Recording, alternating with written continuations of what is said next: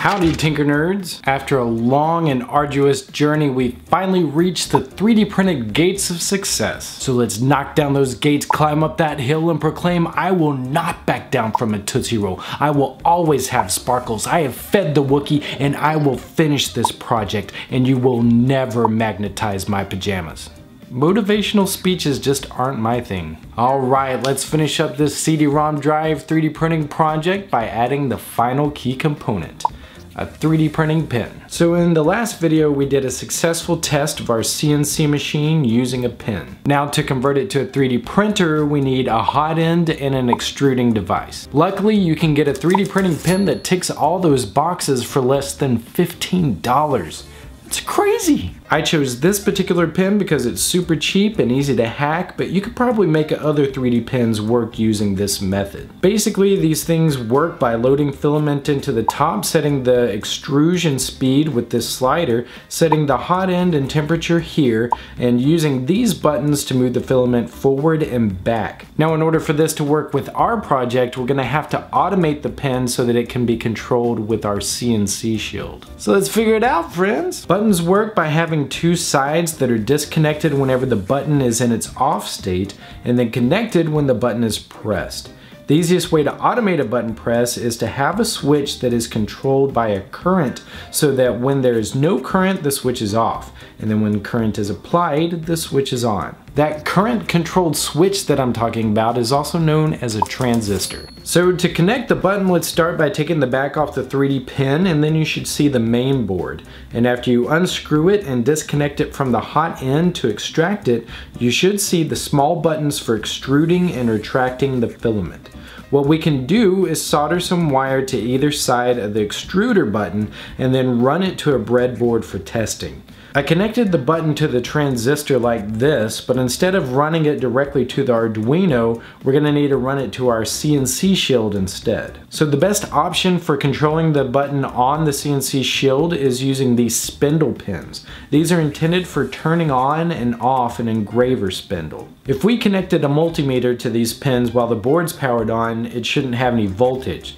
Then in our software, when we check the spindle on box, you should see the voltage change on the multimeter. So for testing, we can connect that to our breadboard and see if it controls our pin. One of the biggest issues with the voltage that's coming from the CNC shield is that it's too high to switch the transistor. So what we need to do is add a resistor to the ground wire to resolve that issue. And you may have to try different resistances until you find the one that triggers the transistor. Hopefully you had some luck with that and you were able to trigger the extruder button via the software.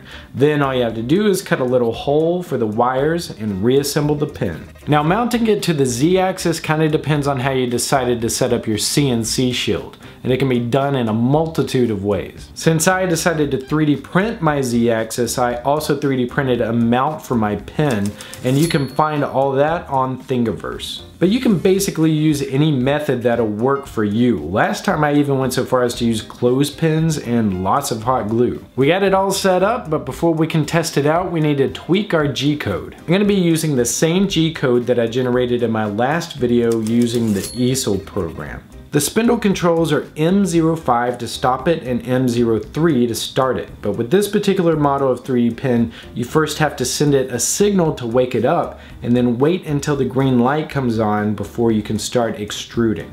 So in the code, let's send it a signal using M03 and then use the G04 command to pause the program for 20 seconds, allowing the pen to heat up.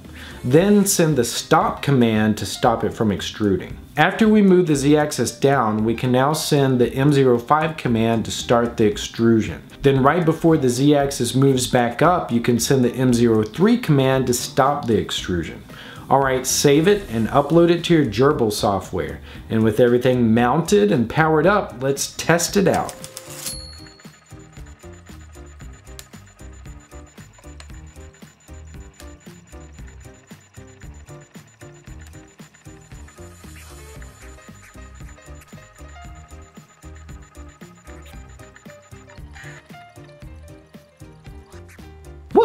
We have a 3D print. But it's not really a 3D print because it's just one layer. So going back into the G code, let's duplicate all the movements. So right before the final z-axis movement, let's add another z-axis movement telling the z-axis to move up 0.2 millimeters. Then we can copy all the commands between these two z-axis movements and paste them right here so that the extruder moves up and draws another box on top of the first one. Save that, upload it, and run it.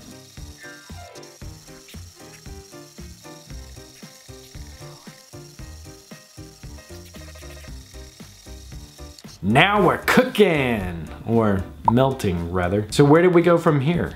Well, now you've kind of seen that making a 3D object is basically taking a 2D slice and layering it on top of each other until you get it as high as you want. So in Easel, you can basically make any design you want, export the G code, and then edit it so that you can duplicate the layers and make it as tall as you need. Well, that's kind of lame. What about actual 3D objects, like the ones you can find on Thingiverse? Well, that's where things can get a little complicated. GRBL is meant for CNC machines, not 3D printers. So if you were to download a 3D file and try to use a 3D slicing program to convert it to G code, it wouldn't really work because there's not a lot of 3D printing commands that GRBL would understand. So what we need is a program that can convert 3D files to GRBL. One free program that I found that should work is called FreeMill. You can download it for free, but you have to enter in your email address and phone number. It's meant for CNC engravers, but it should generate the proper G code for you. And then you'll have to tweak the G code to account for the Z-axis movements and sending the start and stop extruder commands. So feel free to mess around with that and hopefully you'll get the results you want. Congratulations guys, you made your own teeny tiny 3D printer. If you're able to make this project, let me know how it goes and let me know what you've been able to 3D print. And know that this has been a long series, but I really appreciate all of you guys that have stuck with me. Now that this project's over, maybe I'll start doing some easier ones so that I can get more videos out for you guys. Got any ideas? You can submit your own or vote for your favorites at tinkernut.com slash ideas. Click here to watch more videos like this, and if you got any value out of my show and would like to give some value back, please consider liking, subscribing, following me on social media. That's it for this tutorial. For more, go to tinkernut.com.